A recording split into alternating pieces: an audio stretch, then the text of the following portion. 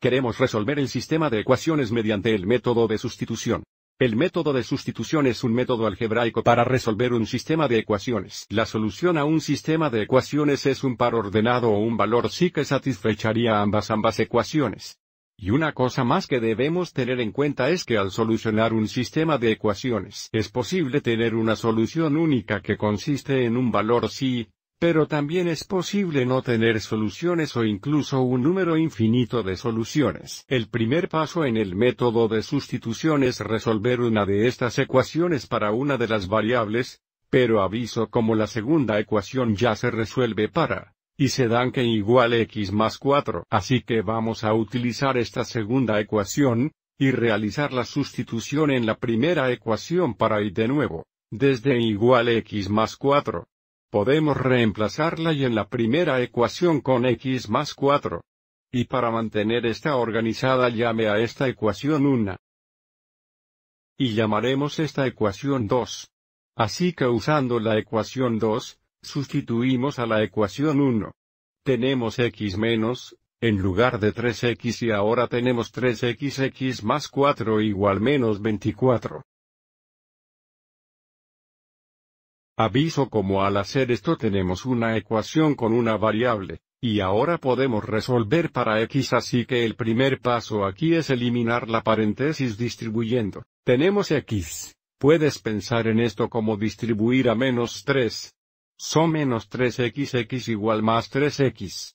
Tenemos más 3x. Y entonces desde, 3x más 4 igual menos 12 escribiremos menos 12. X más 3x es igual a 1x más 3x.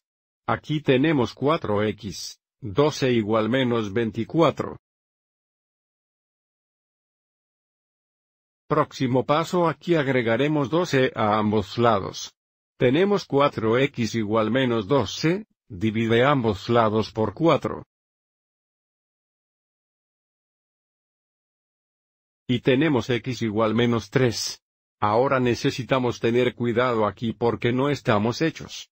Recuerda que la solución consta de un par ordenado o un valor x e y, pero ahora que sabemos que x debe ser igual a menos 3 podemos realizar la sustitución en la ecuación 2 para determinar el valor de, y usando la ecuación 2 sabemos que debe ser igual a x, pero x es menos 3.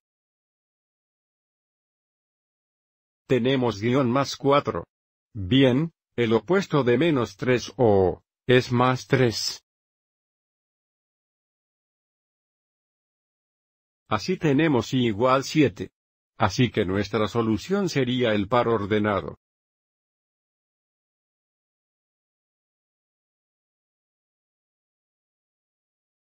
O si queremos podríamos listar esto como x igual menos 3 e igual más 7. Tenemos una solución única. Y por tanto podemos decir que este sistema es consistente y las ecuaciones son independientes. Pero toda la idea aquí es que x igual menos 3 y igual más 7 satisfacerá ambas de estas ecuaciones. Vamos adelante y solo compruebe eso y luego también lo comprobaremos gráficamente. Utilizando la ecuación 1, con x igual menos 3 e igual 7, tenemos 3 3 por 7 igual menos 24. Esto sería 3 21 igual menos 24, lo cual es verdad.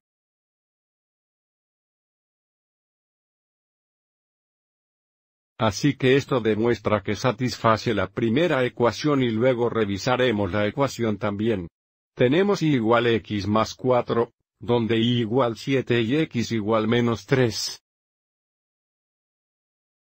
Y esto sería 7 es igual a 3 más 4 y 7 igual 7. Así que eso también funciona. Entonces, esto verifica que nuestra solución sea correcta. Recuerde cuando solucionemos las ecuaciones gráficamente, graficamos ambas líneas en el mismo plano coordinado, y este era el punto de nuestra intersección. Vamos adelante y compruebe gráficamente esto. La línea azul es un gráfico de ecuación 1, y la línea roja es un gráfico de ecuación 2. Aviso de que su punto de intersección aquí tiene una coordinación x de menos 3 y una coordinación de más 7, que, de nuevo, verifica nuestra solución. ¿De acuerdo? Espero que encuentres esto útil.